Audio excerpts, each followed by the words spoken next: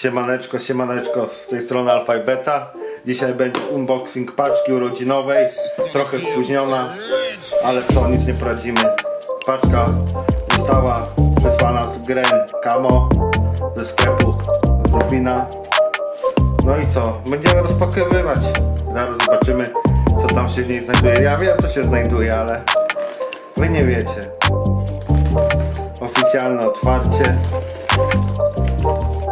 delikatnie, nie chcę nic temu szkodzić. Kosa na grzyby jest, grzybów nie ma. Dobra, skończmy te głupoty gadać, przejdźmy do rozpakowywania. Więc widzicie już pudełko i co to jest? Otóż snajperka, cewka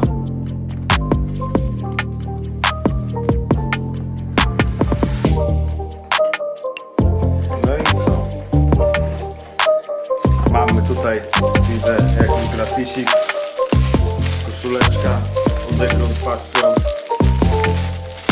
Dziękuję bardzo ślicznie. Jest i otóż moja mała cewka.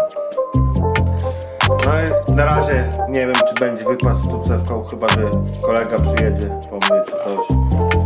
Niestety skuter przestał funkcjonować. No i świateł brak i tak to i tak to. Więc mamy taką cewkę z osłoną, snajpereczkę, koszuleczkę. No i co? Pozdrawiam wszystkich serdecznie. Daszcie dół i do pierwszego znowu cewką. Elo.